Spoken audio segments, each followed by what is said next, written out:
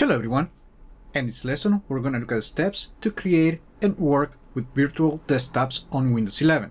Desktops is a feature that allows you to organize your apps using different spaces to overcome the limitations of one monitor. The feature is also useful to keep tasks separate. For example, you can create a desktop for personal tasks and another for work.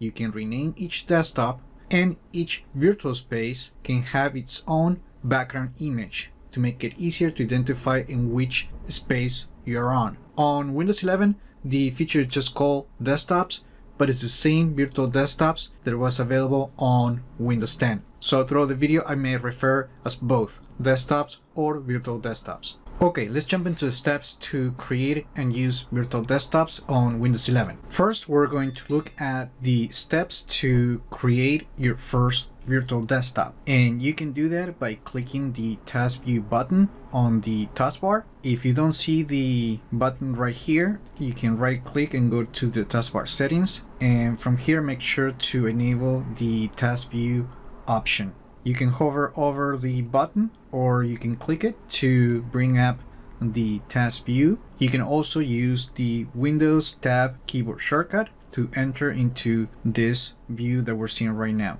And to create a new desktop, simply click the plus button at the bottom of the page.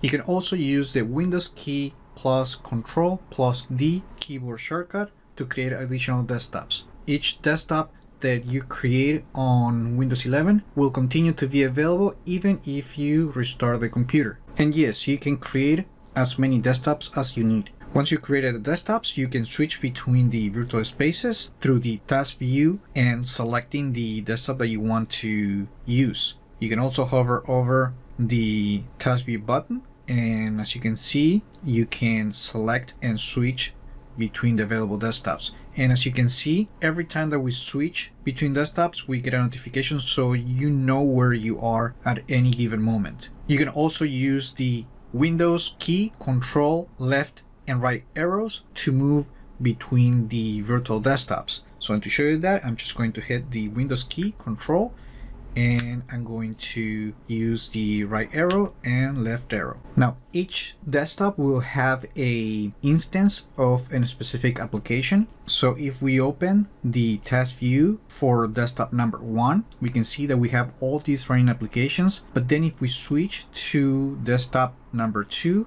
and then we open task view, we can see that we don't have any running applications. So if we want to move apps between the different desktops. You just need to go to the desktop that includes those applications and then just right click on the app that you want, select the move to submenu and select where you want to send the the application in this case we're going to send it to desktop number two and as you can see from this menu we can also send this application to a new desktop and that way we created another virtual space on Windows 11. Now you can also right click the app and make it available on all the desktops using the show this window on all desktops or show windows from this app on all desktops. So for example, if I want to show Microsoft Edge on all the desktops. I'll just use this option.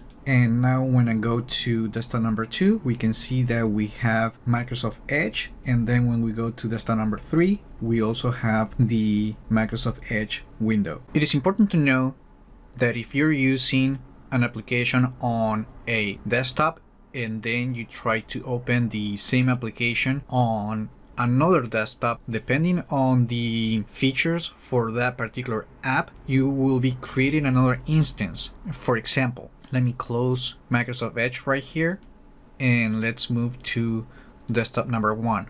You can see that we have Microsoft Edge open right here. So now if we go to desktop number two and then we open Microsoft Edge one more time we're going to see that we get a different instance of the same application. But that's not the same with all applications.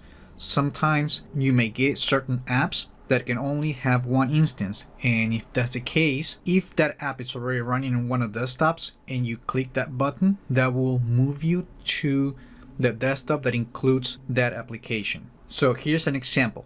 Right here, I have the clock app open and this application can only have one instance. Now, if we switch to desktop number one and then we click the clock app, we're going to see that we have switched automatically to desktop number two. Now, if the app was not pinned into the taskbar, you can see that we have the icon that it shows that this application is running. If we go to desktop number one, we're going to see that the application is not available on the taskbar. We might be able to look for it.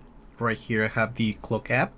And when we do that, again, it will switch us to the desktop that includes that application. So every time that we create a new desktop, the system will use a generic name like desktop 1, 2, and 3, which can be a little confusing depending on all the applications and how you want to separate tasks on your computer. So one thing that you can do is just to right click the desktop and choose the rename option to specify a custom name for that specific desktop. Usually you want to use something that will describe the content that you have on that desktop. For example, on desktop number one, we can use work. And then for desktop number two, we just use game. And for desktop number three, it just use emails. And now you can move between the desktop more efficiently because you know the, the contents of each desktop. You can also change the desktop background with a unique image that it will also make it even easier to identify each desktop. And to do that, you just need to right click on the desktop that you want to change the background and just select the choose background option. From here, select the image that you want to use for that particular desktop and that's it. Now when we go to task view, we can see that for the desktop name work, we have a unique background which is different from the other ones. Of course, you can go to each one of them and select a different background. And that way you can identify each desktop more easily. You can also reorganize the desktops and you can do that by clicking and dragging the desktop to the position that you want or you can right click the desktop and select the move left or move right option. Notice that you also have a shortcut that you can use. For example, if you want to move the desktop to the left, you can use the Alt Shift left arrow keyboard shortcut. Or if you want to move it right, just use the Alt plus Shift plus right arrow shortcut. Finally, you can always close any of the virtual desktops that you're not using and you can do that in multiple ways. You can hover over the desktop and just click the close button and any running application on, on, that particular space is going to jump into the in the next available desktop. Or you can also use the windows or you can also use the windows key plus control plus F4 keyboard shortcut and that's it that's how you use virtual desktops on Windows 11. Remember to like the video, leave your comments, subscribe to the channel if you haven't done that yet, and I just hope this video was informative for you and I would like to thank you for viewing.